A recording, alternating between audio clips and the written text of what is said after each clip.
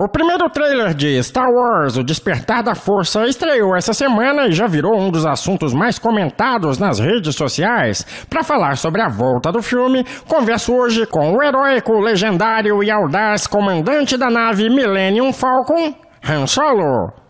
Ah, a história se passa bem depois daquela trilogia filmada nos anos 70, né? Como você adivinhou?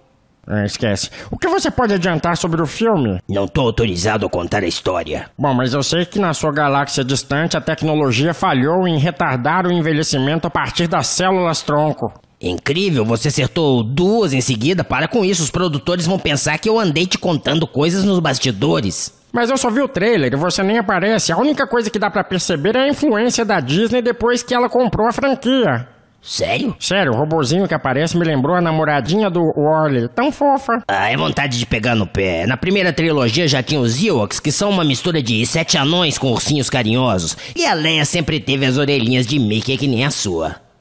1 a 0. Mas não dá mesmo pra contar nada sobre o filme? Não, eu já disse que não. espera aí, tá aqui na minha ficha. A gente topou abrir espaço pra entrevista no meu programa sob a condição de alguém do elenco vir aqui contar partes importantes da trama. Eu disse que eu não tô autorizado. Ele pode, conta aí.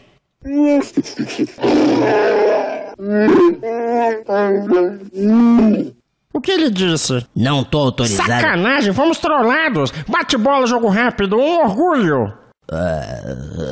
Escolhe um, ajudar a resgatar a princesa Leia, salvar o Luke. Lembrei, lembrei de um. Fala. Passei no psicotécnico semana passada e renovei meu brevet de piloto.